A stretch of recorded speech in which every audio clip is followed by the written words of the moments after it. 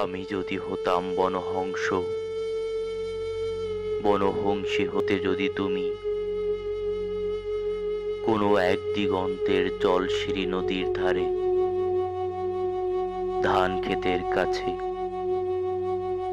ছিপ ছিপে শহরের ভিতর এক নিরালা নিরে, তাহলে আজ এই ফাল্গুনের রাতে ঝাউয়ের শাখার পেছনে চাঁদ উঠতে দেখে আমরা নিম্নভূমির জলের গন্ধ ছেড়ে আকাশের রূপালী শস্যের ভিতর গা ভাসিয়ে দিতাম।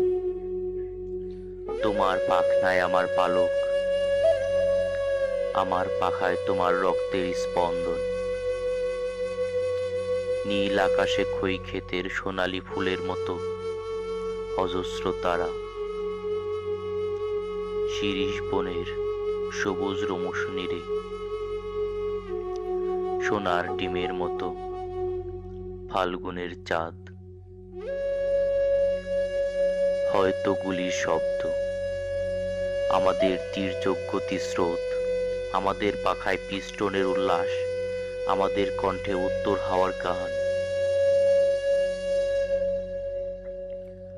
হয়তো গুলির শব্দ আবার আমাদের স্তব্ধতা, আমাদের শান্তি।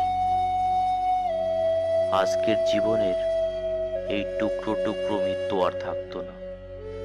থাকতো না আজকের জীবনের টুকরো টুকরো স্বাদের ব্যর্থতা ও অন্ধকার।